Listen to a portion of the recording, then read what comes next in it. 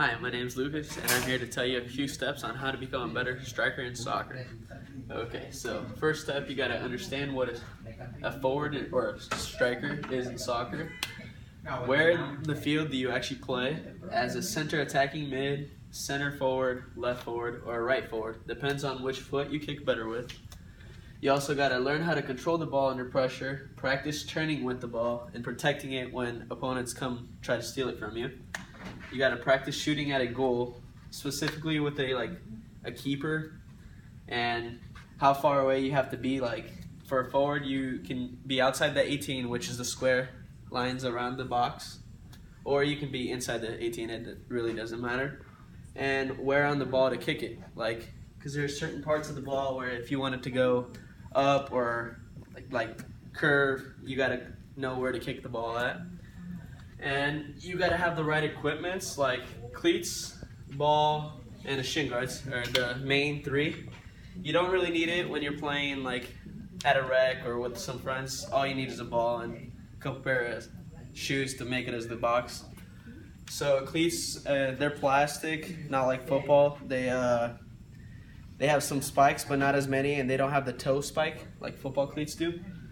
And shin guards usually come pairs a pair of them for one for each leg. Not every game requires them, so.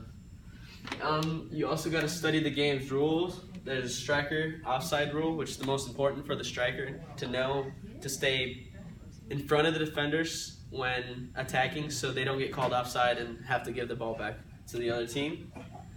And you got to pretty much stay fit and healthy, eat the right food, like right sort of foods, and not being drunk and party, drinking beer and stuff. You gotta, cause soccer players have to run at least 90 minutes at a top sp- top speed.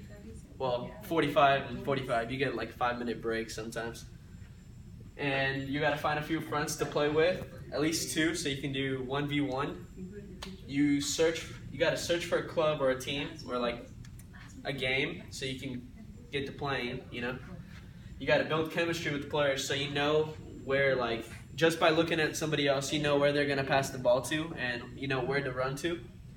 You got to meet pretty much all the requirements of the, the team like the payments the registration the due dates like uh, sometimes you got to pay for your own jerseys or your own practice uniforms and depends on the school you go to. Um, but if you don't uh, if you're just playing with friends you don't need to like pay for anything. You just make friends and just play around. You can. Uh, the most important thing is you got to score a goal playing as a striker, as your position, because that's the main role as a striker.